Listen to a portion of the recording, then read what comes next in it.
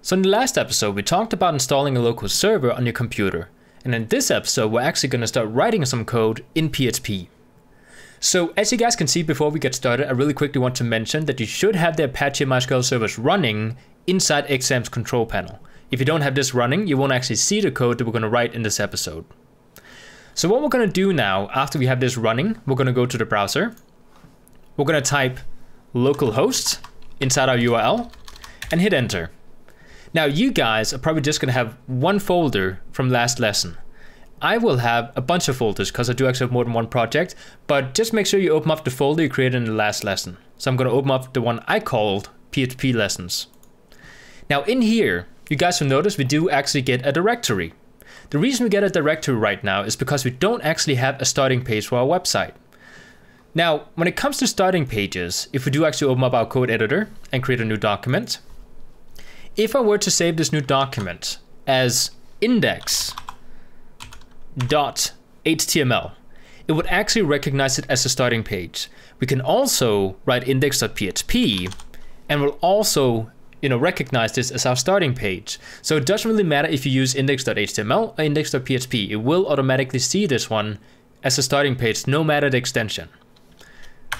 So after we save this as index.php inside our directory, of course, inside our root folder, inside htdocs, then we can actually start writing code. Now the thing about PHP documents is even though we have the PHP extension, we can still write HTML and JavaScript code in here. So if I were to open up, you know, just a very basic HTML5 layout, this is just a starting layout for a new website. We have the HTML tags up here. We also have the doc type. So we have the HTML opening and closing tags. We have the body tags. We have the head tags and just a small title tag in here with some meta tags. So this is a very basic, you know, starting layout for a website inside HTML. Now, in order to write PHP code, we need to use something called PHP opening and closing tags. Now the way we write those is by saying lesser than, question mark, PHP, which by the way is the opening tag. If you want to close it again, you write question mark, greater than. So everything that goes in between these tags are going to be PHP code. You, I should mention that you have to write these PHP tags if you want to write PHP code. Otherwise, it's not going to recognize it as PHP code. So in between these tags, we can actually start writing something. And the first thing I want to teach you guys is how to print something on the screen. Now in the last episode, I did actually show you guys an example of how to print something. I didn't really explain it very well, but I just kind of showed you guys. So we can actually write echo inside our PHP tags, which is essentially that we echo something out on the screen. We actually write something on the screen.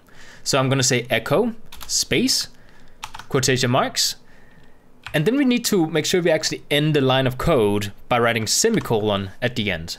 Kind of the same way as we do in CSS when we do want to end off a piece of code.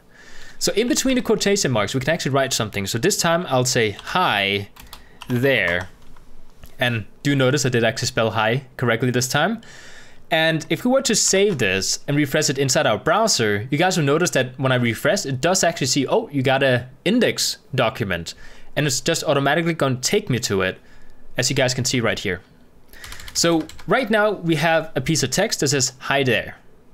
Now, if I want to write something else, we can also use a statement or like a, a function called print. Now, print does the same thing as echo. There's, there's a couple of differences, but right now there's not really any important differences other than I should point out that echo is faster loaded inside your browser. So if you want to print some text and you want it to be fast, Echo is faster, even though it's very, very, you know, little amount of faster it is. So we can actually go down to the print and write quotation marks again. And I can actually write my name. So we'll say, hello there, or hi there, Daniel. And we need to make sure we end it with a semicolon, of course. If I were to save this, refresh my browser, you guys will notice we have some text going on. Now we don't have a space in between here, and that's because I do actually need to add a space after there, and then we'll actually create the space for me. But these are two ways you can actually print out stuff inside a browser. Now I do want to point out, since we're dealing with text right now, you guys will notice I put, uh, what do you call it, quotation marks around the text. If I were to write numbers, we can actually go ahead and eliminate the quotation marks and simply write out some kind of number. We can write 12, for example. If I save this, it will actually print out 12. So you don't have to put it in quotation marks if you're dealing with numbers. You can. If I were to put these in quotation marks, it still would will print it out as 12. But this time it's going to see it as a string, which is what we call it when we put, you know, a, a line of text inside an echo, for example. So right now this, you know, 12 is not seen as an integer, it's seen as a string, which is, you know, text.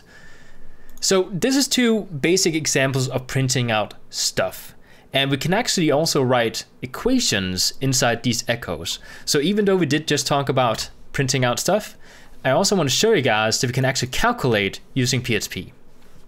So if I go into my echo and say 12, well, let, us say something simple, 10 plus 5.